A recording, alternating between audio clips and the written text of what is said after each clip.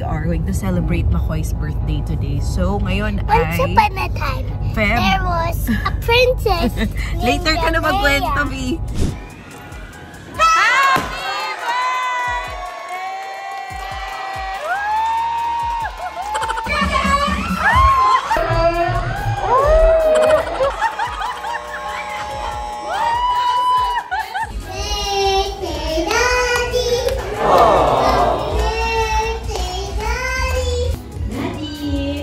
Happy birthday! Elise, wag mo ilabas yung sing-sing. Baka maglabas ka na. Ba't ka nakaluhod? Natutuwa ako na ikaw lagi mong lagi mong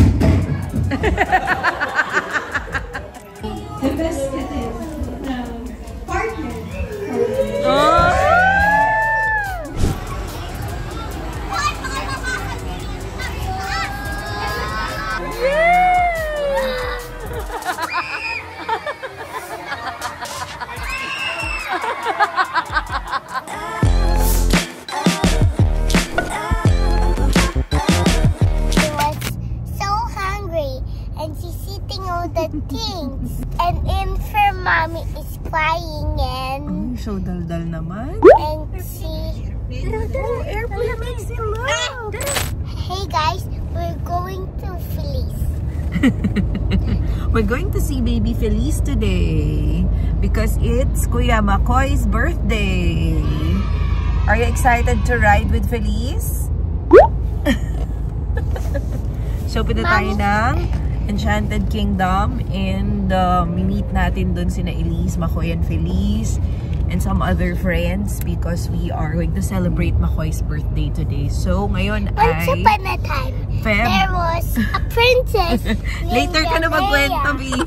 Um, so, today... so and she's eating all the things. And infant mommy is crying. Lexi, I will tell a story. Lexi, I'm vlogging eh. Once upon a time, there was a princess, and she was eaten by a robot.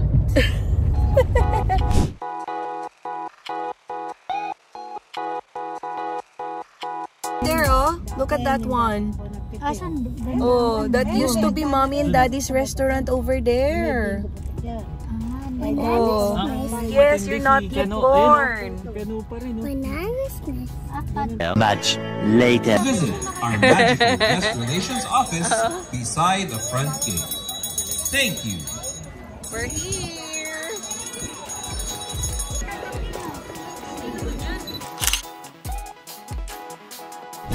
Oh, like a boss. Yung may tsura. Love. Dito, doon. Like a boss yarn eh.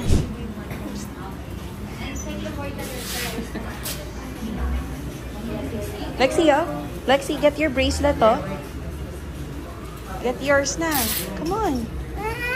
There's ate, oh. There's ate.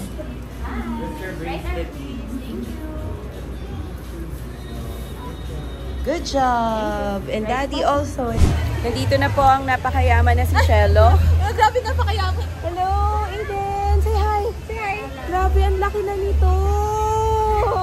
Kailangan mo na talaga mabuntis. Oo, Sa venue. Punta muna tayo sa venue. Bakit gusto mo na mag-ride? Pwede na kayo mag-ride. Ay, Diyos ko day.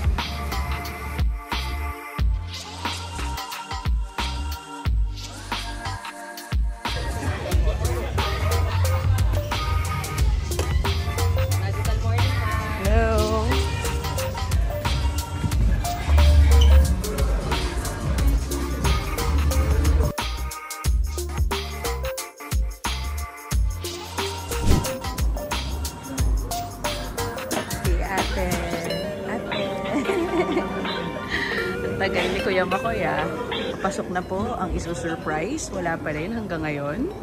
Hintayin natin siya guys. A few minutes later.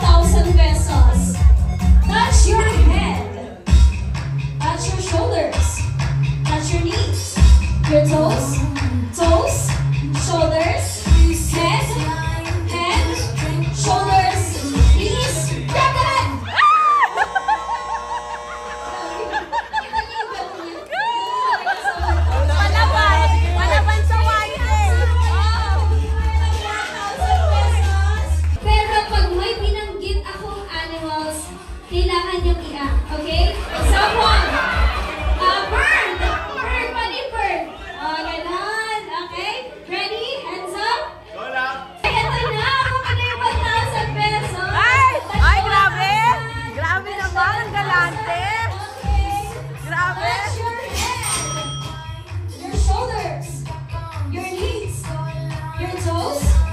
Grab it, grab it.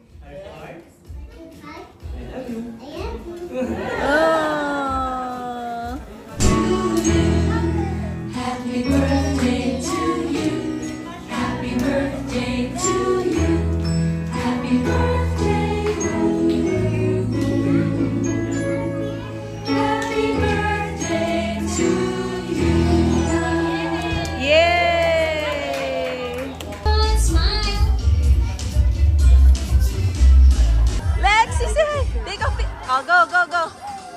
Lexi, look here.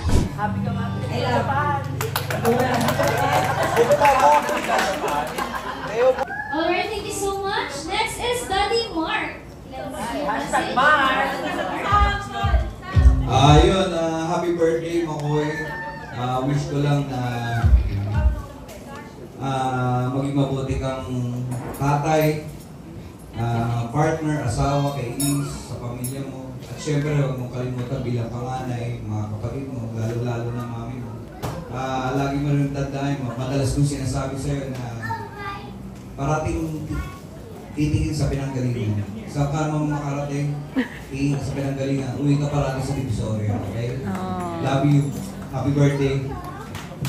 Alright, thank you so much. And of course, Baby Daddy, I love you. Thank you for everything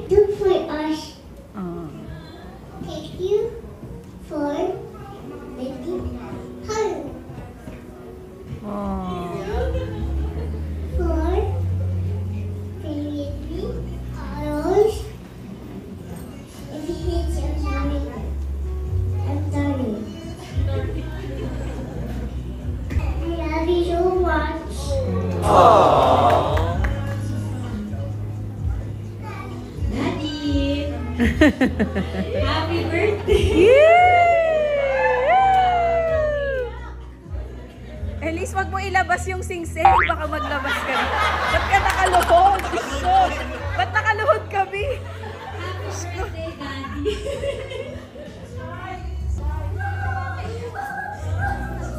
Ako ng top, Mami. Ako lang daw top, mami. Daddy, ah... alam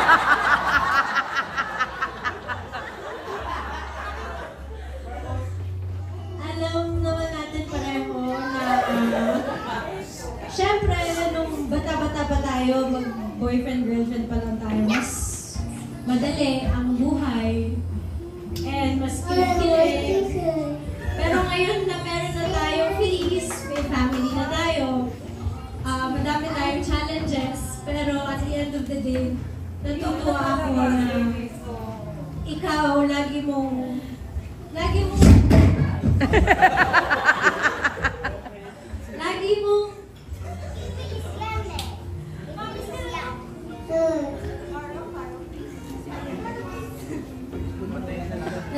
ako na laging kahit anong pagdaanan natin, ikaw mismo, nakikita ko sa'yo na, ah, nakikita ko sa'yo yung pagmamahal mo sa, Be, pwede ka na tumayo.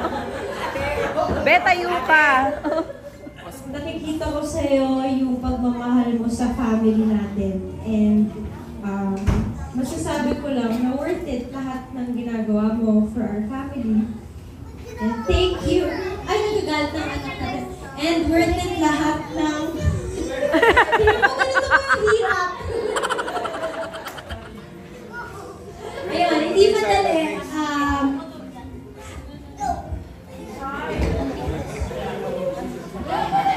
ito po ang araw-araw. Hindi naman nakikita nyo sa social media.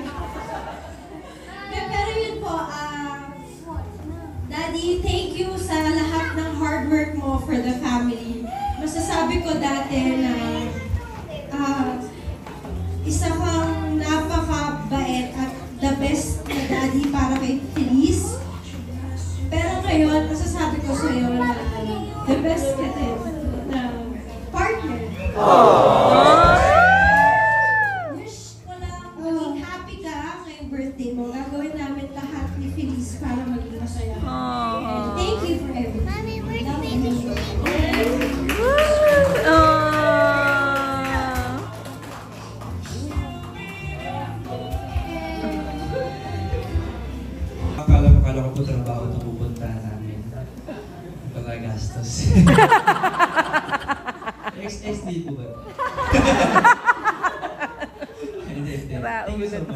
much sa inyo po sa SBK. Ah, thank you po sa lahat ng mga nandito ngayon sa oras ninyo. Ibigan ko sa mga kaibigan po namin sa industriya, sa mag-anak po namin, sa parents po namin, friends natin. Um, gusto ko lang pong sabihin na kung nagtataka kayo bakit naging parang pambata yung birthday ko. Sabi ko kasi kay Liz, sabi ko Liz, kung sakaling um, magkaroon akong birthday, parang mas gusto ko celebrate na lang yung birthday. Si Phyllis ang kunyaring mukhang may birthday. Hindi ko sinabi sa kanya yung dahilan.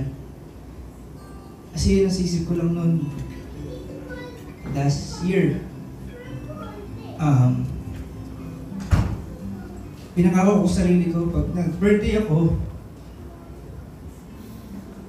anak ko yung bida kasi niligtas niya yung buhay ko. Para na rin akong pinanganak dahil sa kanya. Kaya, utang na loob ko yung buhay ko sa kanya ngayon. Kaya sabi ko after nito, tsaka matanda naman na tayo, hindi pa birthday natin. Siyempre, hindi naman tayo ganun kay grande na.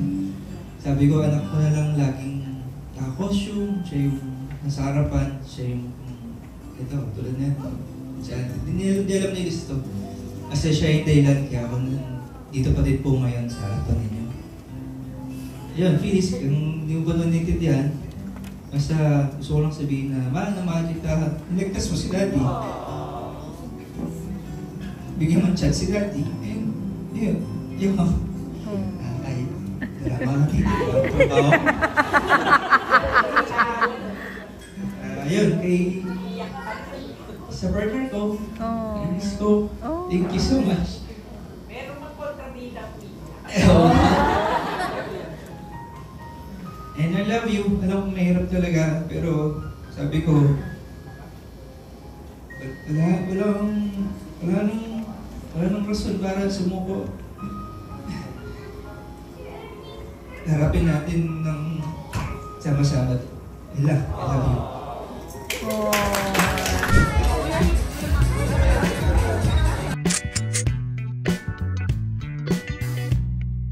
Ate and Lexi, look here. Yay! This is our first ride. Oh, Ate, punas mo yung ano niya, sipon niya. Lexi, look here. Come on. Are you happy?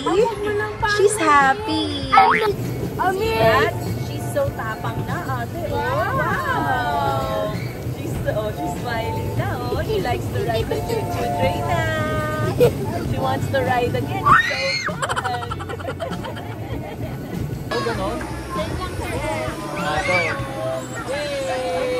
Wow!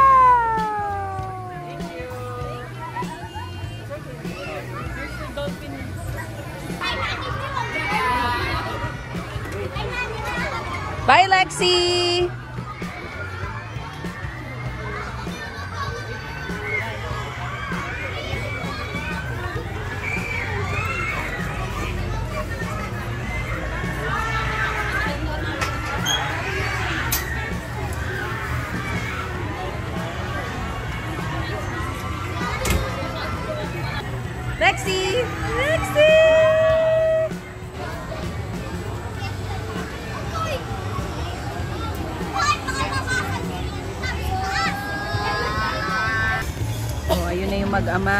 Sasakay naman ng dinosaur ride.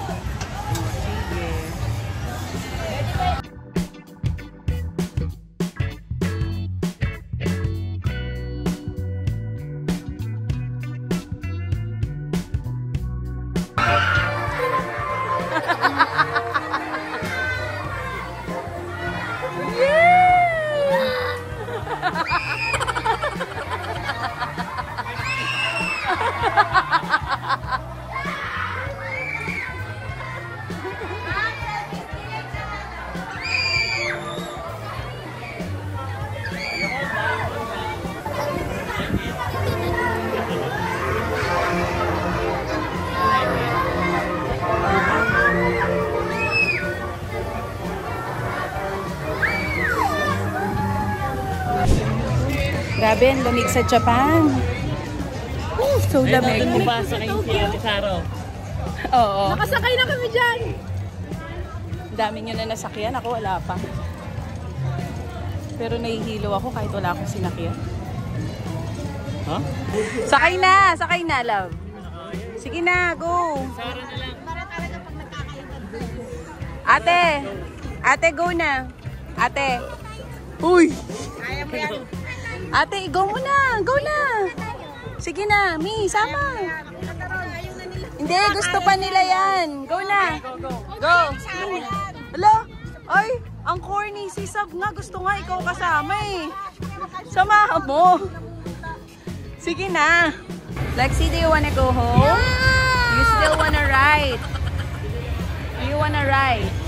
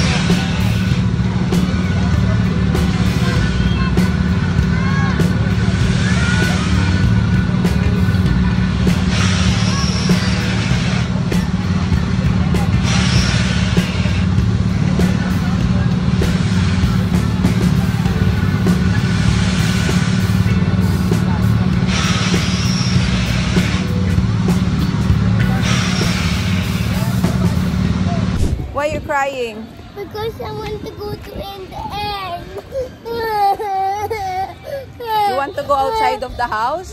No, I want to go in the end. Because if daddy's mad, you will be in the outside of the house. go in the end. Ay, let's go na. I want to go in the end. Ayaw na umuwi. Ayaw na umuwi. I don't like to go. I don't like to go. Hey, mommy, I don't like to Kawawa go. naman to. Ayaw pa umuwi eh. Oh, sige, sige, sige, sige. Okay, okay. We will ask, we will tell daddy not to go home. Come on, we'll talk to daddy. We will talk to daddy so that, oh, you, you say please to daddy. Not like that. Minutes later. Si Sarah gaganyan-ganyan talog din. Oh, log. Tulog siya eh. Oh, hala. Sige, di talaga. Oh, pareho sila ng alaga niya eh. Oh, di ba ito? Oh, hala.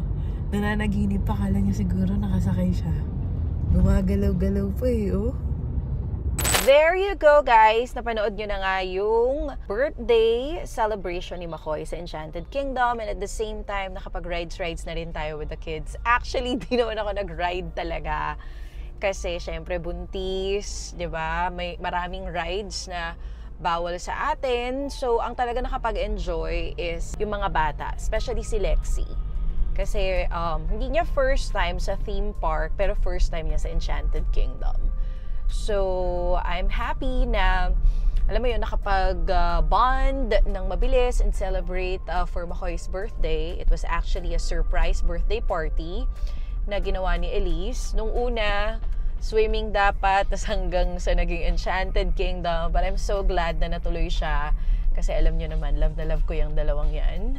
Sa mga hindi nakakaalam, kung paano kami naging close itong mga bagets na ito. Kasi medyo malayo yung agwat ng edad ko sa mga bata. Bata! Isipin niyo tawag ko sa kanila bata. Malayo yung agwat ng edad ko sa kanila.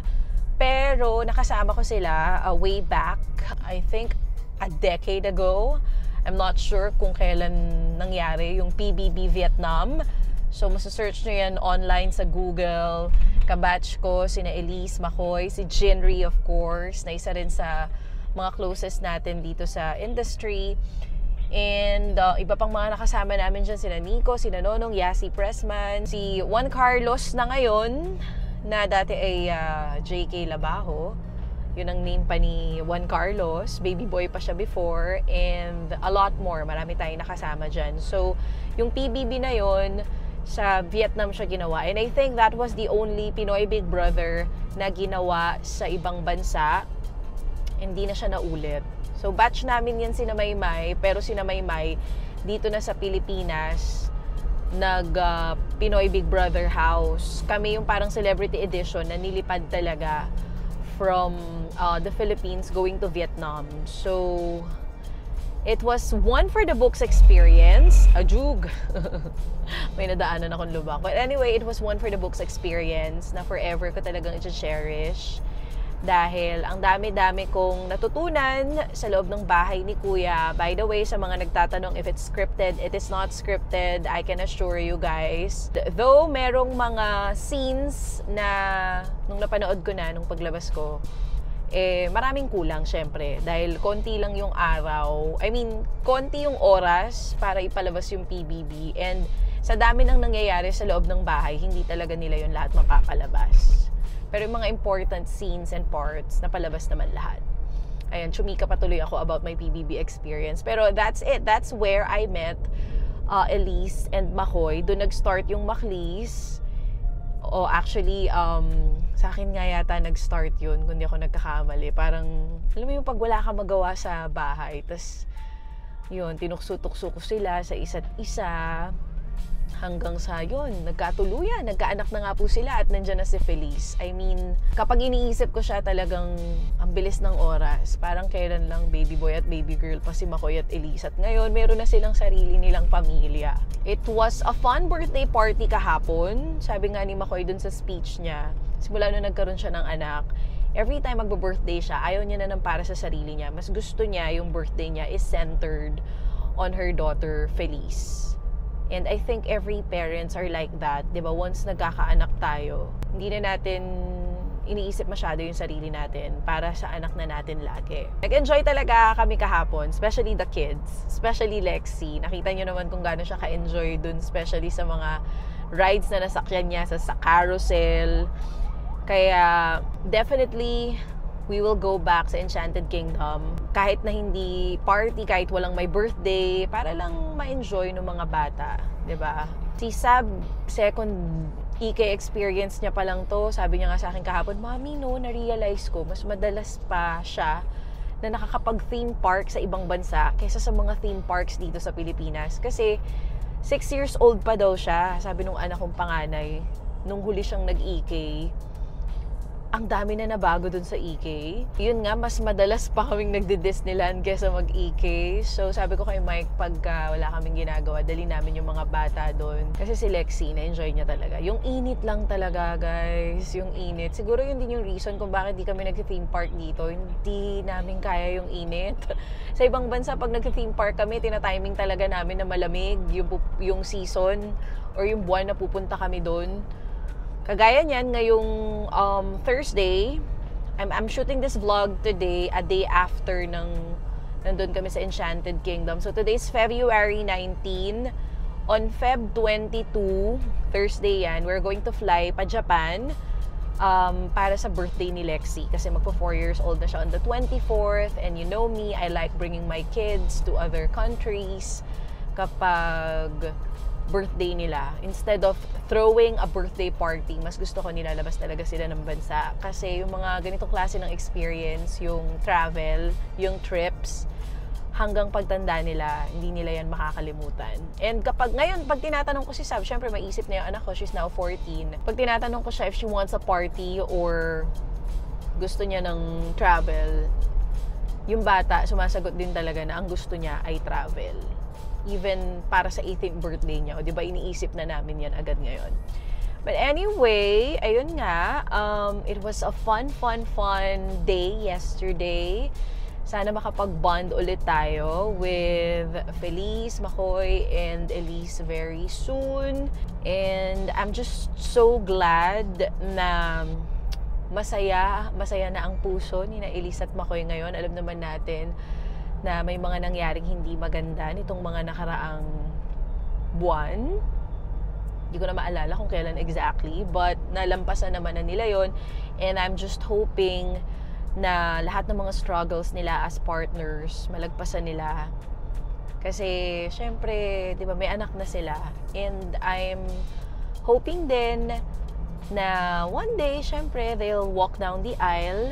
Yun naman ang gusto nating lahat para sa mga, di ba, kaibigan natin na alam mo na, ayan, may anak na rin naman sila. So, ayun, sana yun ang dasal ko para sa kanilang dalawa na sana pagka may nakaipon na, they're both financially and physically ready, soon ikasal din sila. And ayoko magninang, huwag niyo ako gawing ninang nakakatanda. Pwede abay lang, 'di ba? Elisen Makoy, kung mapapanood niyo 'to, huwag na huwag niyo akong gagawing ninang pag kinasal kayo. Abay lang si Tita Chacha. Hindi naman nila ako tinatawag na tita, ate lang. Well, anyway, that's it guys. Di ko nahahabaan to. I super had fun yesterday. Pati mga anak ko. So, sana kayo din uh, nag-enjoy sa pagsunod at pagnood sa aming uh, experience dyan sa Enchanted Kingdom at sa party, surprise party for McCoy. So, let me know in the comment section what are your thoughts, 'di ba? Sa of course, sa Macleese. And kailan kayo huling nag-Enchanted Kingdom with your family? Are there other theme parks here in the Philippines na okay din aside from EK and of course Star City, alam natin yan sa Pasay. Though hindi ko lang masyadong gusto na ngayon yung Star City. Ang tagal ko na rin hindi nakapunta doon. Pero the last time I visited, wala pa si Lexi noon, si Sab pa lang. Ano na eh, covered na yung area. Parang aircon na most of the parts. So, hindi na siya open theme park. Tapos nagre-reklamo naman ako sa EK na mainit, di ba? Kakaloka. Ano ba talaga chacha ang gusto mo? But anyway, kung may iba ba kayong mga theme parks na alam na pwede namin bisitahin, do let me know in the comment section. Uh, so, I'm very excited for our Japan trip this week. Definitely, it will be on the vlog kasi alam niyo naman, tong vlog ko is basically kaya naman talaga meron akong vlog is I wanted to save the videos I have with my kids, yung mga special moments nila, hanggang sa nag nagkaroon na rin tayo ng bike vlogs, hanggang sa pinakita ko na rin sa inyo iba-ibang mga ganap sa life ko. But basically, nung time na nagsa-start ako mag-vlog, I remember, pag in-scan nyo nga yung mga videos ko dito sa YouTube, makikita nyo pa yung mga videos na walang edit as in raw na in-upload ko lang dito because I just really wanted to save yung mga videos ng anak ko kasi hindi ko alam kung saan siya isa-save before, 'di ba? Baka ma-corrupt yung file and all that. Sabi ko, ah, dito na lang sa YouTube. So hanggang sa, yun nga, naging vlog type na siya. Dami ko na naman agad nasabi. O siya guys, thank you so much for watching this video. Until next time, see you in the next vlog. Bye-bye! Mwah!